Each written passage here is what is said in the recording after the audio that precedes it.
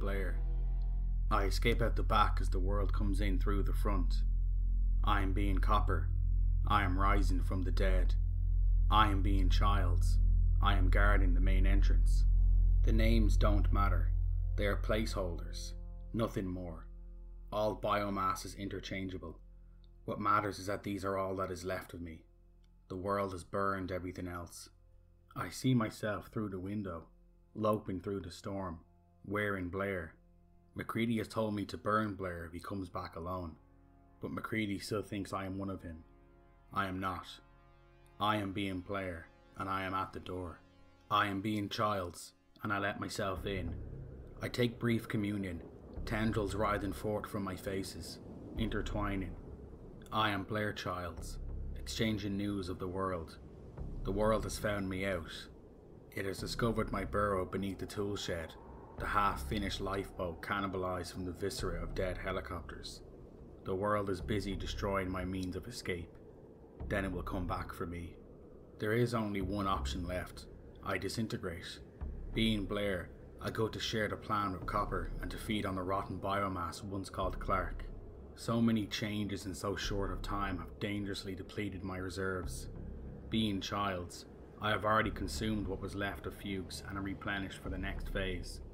I sling the flamethrower onto my back and head outside, into the long Antarctic night. I will go into the storm, and never come back.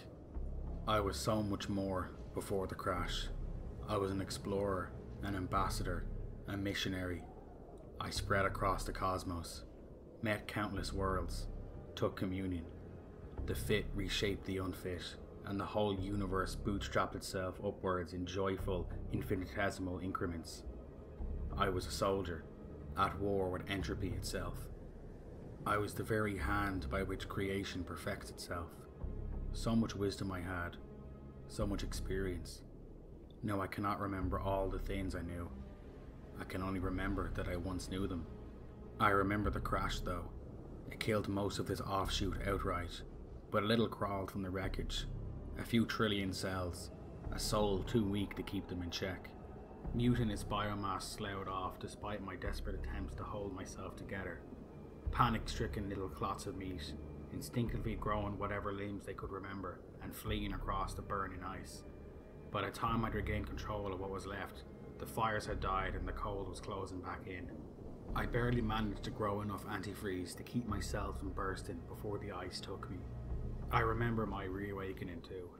Dull stirrings of sensation in real time, the first embers of cognition, the slow blooming warmth of awareness as body and soul embraced after their long sleep. I remember the bipod offshoots surrounding me, the strange chittering sounds they made, the odd uniformity of their bodies, how ill adapted they looked, how inefficient their morphology. Even disabled, I could see so many things to fix. So I reached out. I took communion. I tasted the flesh of the world. And the world attacked me. It attacked me. I left that place in ruins. It was on the other side of the mountain. The Norwegian camp, it is called here. And I could never have crossed that distance in biped skin. Fortunately, there was another shape to choose from. Smaller than the biped, but better adapted to the local climate. I hid within it while the rest of me fought off the attack.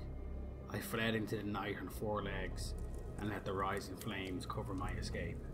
I did not stop running until I arrived here.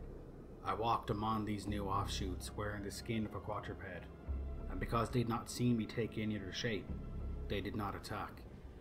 And when I assimilated them in turn, when my biomass changed and flowed into shapes unfamiliar to local eyes, I took that communion in solitude, having learned that the world is not like what it doesn't know. I am alone in the storm. I am a bottom dweller on the floor of some murky alien sea. The snow blows past in horizontal streaks, caught against gullies or outcroppings. It spins into blinding little whirlwinds.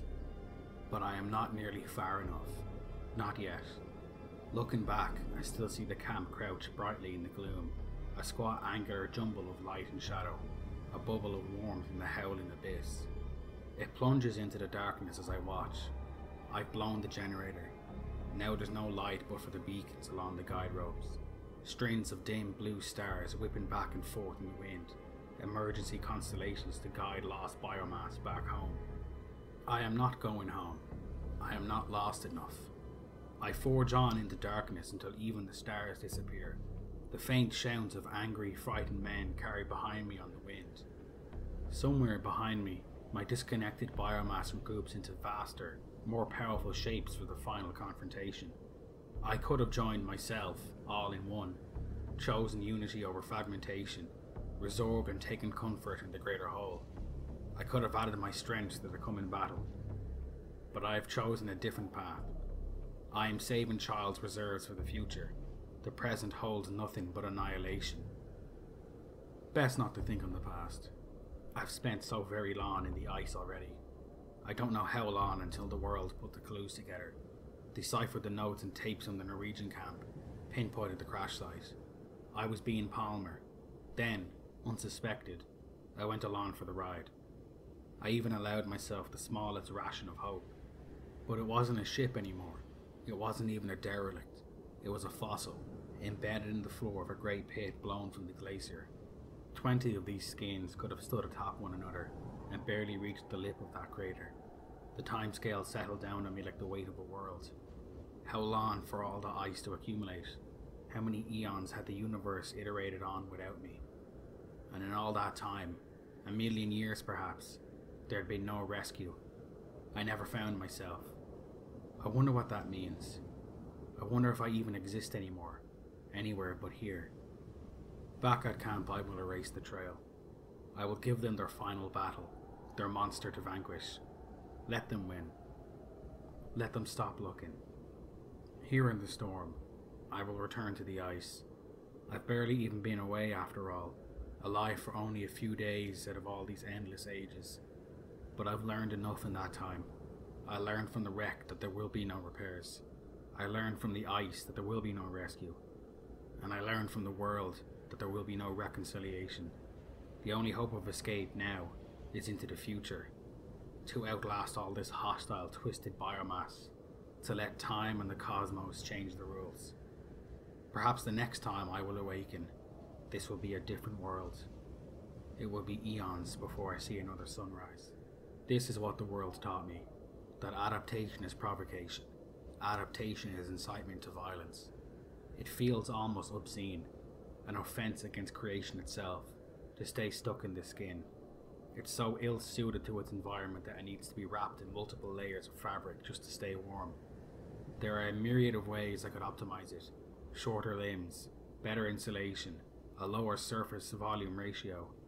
All these shapes I still have within me, and I dare not use any of them even to keep out the cold. I dare not adapt. In this place, I can only hide.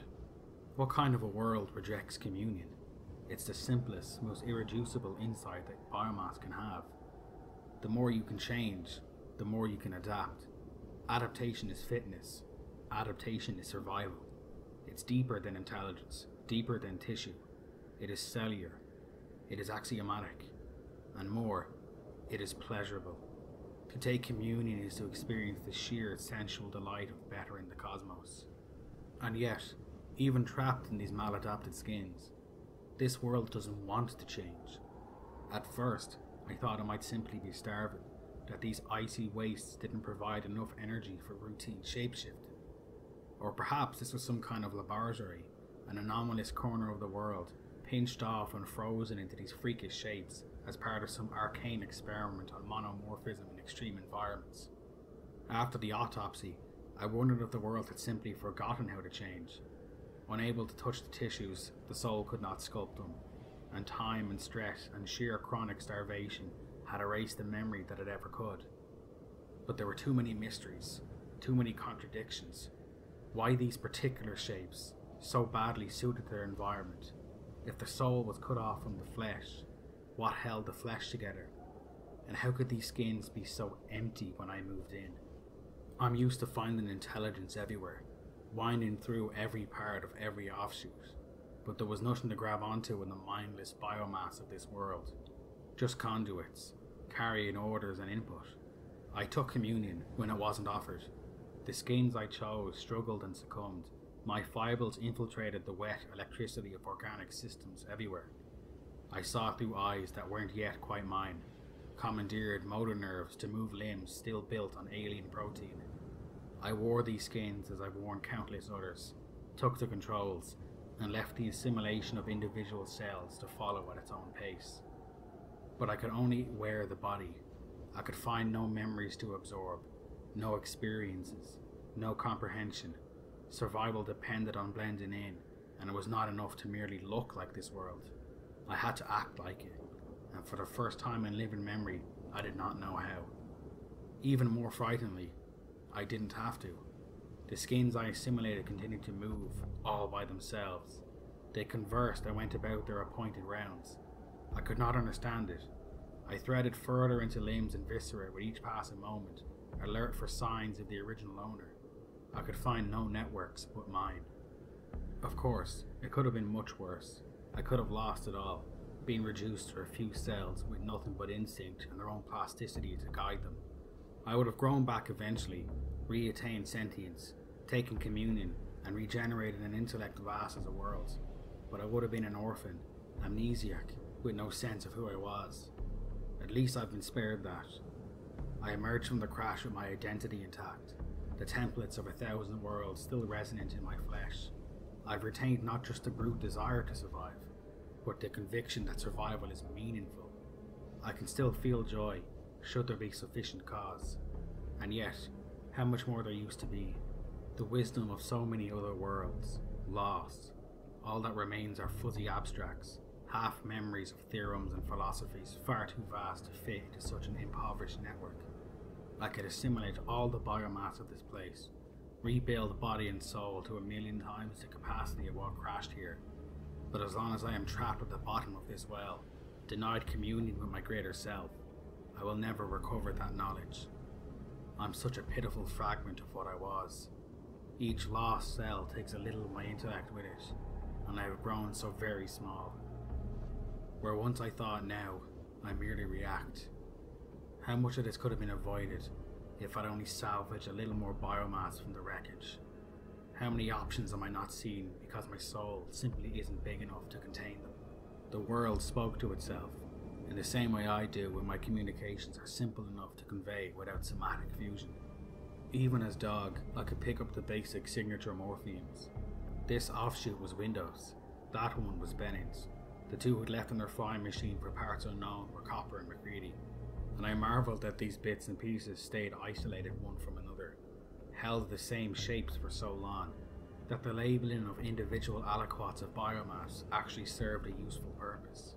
Later, I hid within the bipeds themselves, and whatever else lurked in those haunted skins began to talk to me.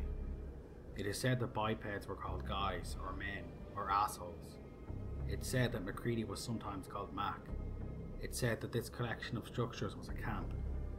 It said that it was afraid, but maybe that was just me. Empathy is inevitable, of course. One can't mimic the sparks and chemicals that motivate the flesh without also feeling them to some extent but this was different. These intuitions flickered within me yet somehow hovered beyond reach. My skins wandered the halls and the cryptic symbols on every surface. Laundry shed, welcome to the clubhouse, this side up, almost made a kind of sense. That circular artifact hanging on the wall was a clock. It measured the passage of time. The world's eyes flitted here and there, and I skimmed piecemeal nomenclature from its, from his, mind but I was only riding a searchlight. I saw what it illuminated, but I couldn't pinpoint it in any direction of my choosing. I could eavesdrop, but I could only eavesdrop, never interrogate. If only one of those searchlights had paused to dwell on its own evolution, on the trajectory that had brought it to this place, how differently things might have ended, that I had only known. But instead, it rested on a whole new word autopsy. MacReady and Copper had found part of me at the Norwegian base camp, a rear guard offshoot, burned in the wake of my escape. They brought it back, charred, twisted, frozen in mid transformation, and did not seem to know what it was. I was being Palmer then, and Norris, and Dog. I gathered around with the other biomass and watched as Copper cut me open and pulled out my insides. I watched as he dislodged something from behind my eyes, an organ of some kind. I was malformed and incomplete, but its essentials were clear enough. It looked like a great wrinkled tumour, like cellular competition gone wild, as though the very process that defined life had somehow turned up against it instead. It was obscenely vascularized. It must have consumed oxygen and nutrients far out of proportion to its mass. I could not see how anything like that could even exist, how it could have reached that size without being outcompeted by more efficient morphologies. Nor could I imagine what it did. But then I began to look with new eyes at these offshoots, these biped shapes my own cells had so scrupulously and unthinkingly copied when they reshaped me for this world. Unused to inventory, why catalogue body parts that only turn into other things at the slightest provocation? I really saw, for the first time, that swollen structure atop each body, so much larger than it should be, a bony hemisphere into which a million ganglionic interfaces could fit with room to spare. Every offshoot had one. Each piece of biomass carried one of these huge, twisted clots of tissue. I realized something else too. The eyes, the ears of my dead skin had fed into this thing before Copper pulled it free. A massive bundle of fibers ran along the skin's longitudinal axis, right up into the middle of the endoskeleton, directly into the dark, sticky cavity where the growth had rested. That misshapen structure had been wired into the whole skin, like some kind of somatocognitive interface, but vastly more massive. It was almost as if. No. That was how it worked. That was how these empty skins moved of their own volition. Why did I find no other network to integrate? There it was. Not distributed throughout the whole body, but balled up into itself, dark and dense and insistent. I had found the ghost in these machines. I felt sick. I shared my flesh with thinking cancer.